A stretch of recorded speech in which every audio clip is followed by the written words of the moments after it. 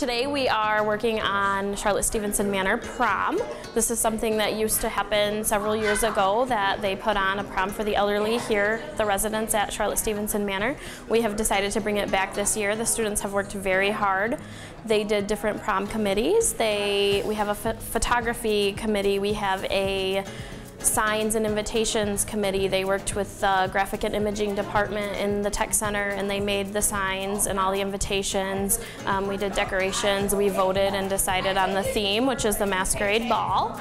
Um, and they also put on a fashion show today. Tonight when they come back, we will actually have a prom with a DJ and also some polka dancers. So why we're doing this is we're learning. We're in healthcare careers at Votech.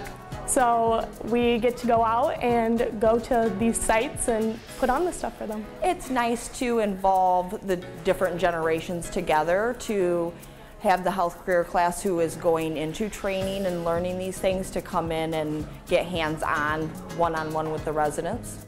In my future career, if I go on in healthcare, this will really prepare me for like the nursing side of it and also just learning to work with patients.